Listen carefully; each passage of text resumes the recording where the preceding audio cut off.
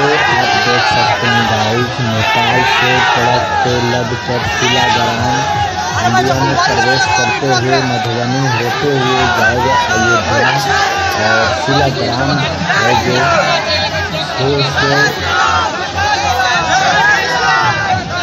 करोड़ पुराना शिलाग्राम है। उसी से राम और सीता और लक्ष्मण जी का प्रतिमा बनेगा।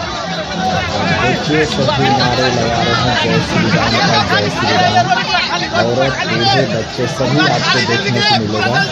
तो चलिए देखिए, अब आगे है शिलाग्राम देख सकते हैं। आप सामने से देखिए।